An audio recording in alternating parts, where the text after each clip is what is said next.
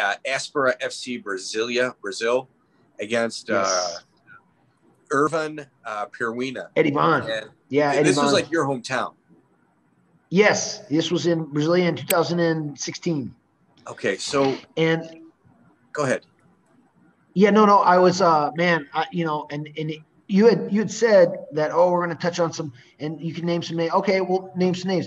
This guy named Marcelo Brigadeiro, Brigadeiro, right? So this guy, all right, I've known him for years. Okay, known him for years. I, I actually stayed at him and his mom's house in Rio when I was there doing camps for for the Anderson fight. When I was there for Brazilian Nationals in Luta Livre. When I was there for the for the uh, hell, I stayed at his house um, uh, for uh, for for for the Rio State Cup in uh, 2000, I think, also. But so I've known Brigadeiro. I've known him from back in the day, and he calls me up and he offered me a fight, and I was going to fight this guy named Guilherme Carcassinha or something like that. But he was he was he was you know he's he's like coming up, you know, probably like 15, 16, and two or something. You know, he's a prospect in Brazil at the time. So I was going to, all right, I'm going to fight him. Well, comes up on the week of the fight, you know, about six days out. Oh, Carcassinha can't make it to Brasilia. You're going to fight this guy. Like, oh, okay. Well, I'd heard of this Eddie Vaughn in town, but everybody's like, oh, yeah, he's just, you know, he's not that, he's not that, he's not ready for you, Carlo. And all this and that. And in, in, in the back of my mind, I'm like, well, you know, change the matchup. Should I take the fight? There's a lot riding on it. I, you know, at that point, I was already coming off a couple. I think if you look at my record, maybe a couple of decision losses. So I, I had to be smart with the fights I was going to take. I had specifically trained for this guy. I think his name was Guillermo Carcassinha or something like that for like two months for Brigade, or, you know, six weeks for Brigadeiros Aspera. And then out of nowhere, they're like, no, you're fighting this guy from your hometown. I'm like, oh, okay, well, I don't want to fight nobody because it's not going to do anything for me. And at that point, now, you know, four years ago, I finally f- figured out, like, oh, Carlo, you got a name. You're like a, a former UFC guy, ex UFC guy for these other guys trying to fucking beat you to, you know what I mean? So Yeah. I had finally figured that out. I was like, Carlo, maybe you shouldn't take all these fights they're offering you because they're just looking at you like you're you're fucking ex UFC. So, but then you're the, the fighter deep down, Yeah, you're the well, but the fighter deep down, the fighter deep down, and, let, and instead of just saying, okay, well, I'm not fighting Carcassinha, who who would have done something for me the way I looked at it. You know, he was getting promoted in Brasilia in in, in Brazil. Uh, I I should have said, nah, you know, we'll we'll do it in the next next one. I was like, oh, okay, I'll fight this guy, and basically, I show up on weigh-in day, and I'm a kilo over, a kilo and a half over. And that's my fault. I'm, you know, I'm a professional and I've always made weight and everything or tried. But if I'm over, I'm over. And I'm, you know, I'm, there's nothing to hide. I'll say it. I'm over, you know, whatever. We're here though. Are you want to do it or not?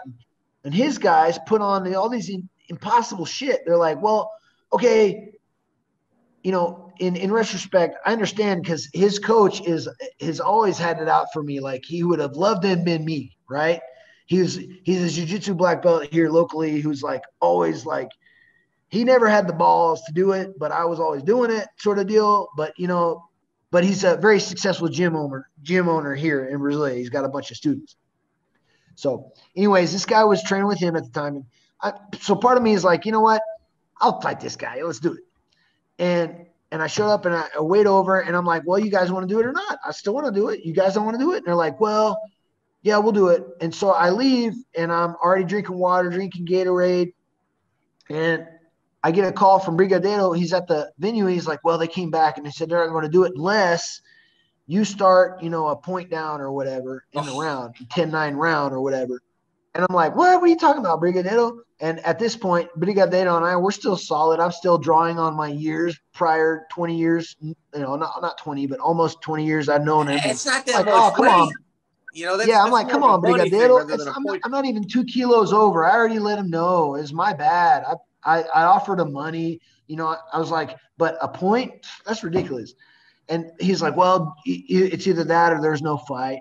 And at that point, I'm like, I've sold 50 plus tickets in town to the cops that I train. And, you know, I got people coming. I'm like, man, I'm going to do it. Fuck it. Okay, fine. 10 9, first round, whatever.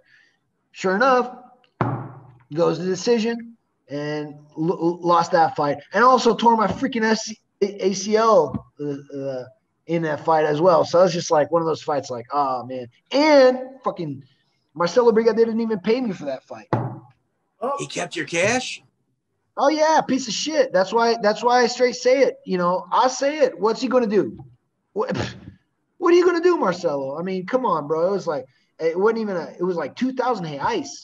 That's like nothing, especially now with the the exchange rate is ridiculous. But didn't it didn't break me. I'm not, you know, I'm not like crying over money. I never had, did never will, because that's did you did you get that's an insignificant amount. But what I'm saying is, you know, there's there's there's and he's not the only promoter that has backtracked on on stuff and you know or, or like ghosted you after or you know there's okay freaking, right. this so, industry is full of stuff like that carl carl you said a lot so let's let's kind of bring it in so there are certain benchmarks for 50 fight club members that you have to have and if you don't have them miguel and i we just don't honor that you're a 50 Fight Club member, and we'll even throw you out. We'll throw you out of the 50 Fight Club. You have Word. to get ripped off by a promoter. That's oh, super oh, important. To. You have to. Mm-hmm. So let's go through the list. Who has ripped you off as a as a 50 Fight Club member that we now honor? Man, you know, here's the thing. Ripped off is one thing. Okay. But not not even like give it okay. So ripped off, honestly, the only promoter that's ever ripped me off was freaking Marcelo Brigadeiro, man. That's crazy. Ain't that some shit? Ain't that some shit?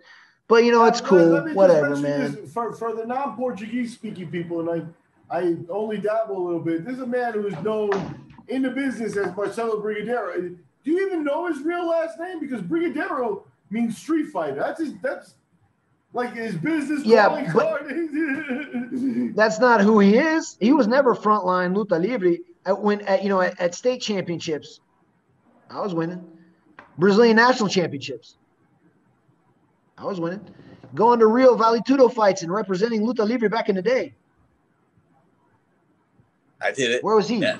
On the sideline, talking, fucking politicking, getting, oh, train with me. I'll teach you the guillotine, Terry Adam. Oh, and this guy, and I'm going to, I'm England. I'm Darren Till's guy. Oh. And then off that, signing other Brazilian guys, promising them the world, you know, including the guy that I freaking uh, fought there, Eddie Van. Oh, we're cool, you know. He we've got total respect. He's come to my house, my gym, and he's we've we've sparred after that fight. So we've we've he's helped yeah. me out. He we've moved around afterwards and everything. Cool. Nothing personal, and right? He even signed with that guy Brigadeiro. So Brigadeiro's got like a whole bunch of guys that him and Stefano Sartori that uh, uh, take care of. But dude, so anti-ethical, man.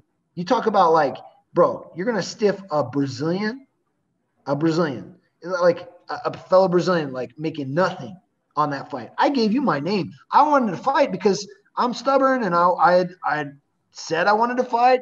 Change the opponent. Fine. I've sold tickets. I want to fight whoever you put in front of me. I want to fight, but I want to fight. At least do your part.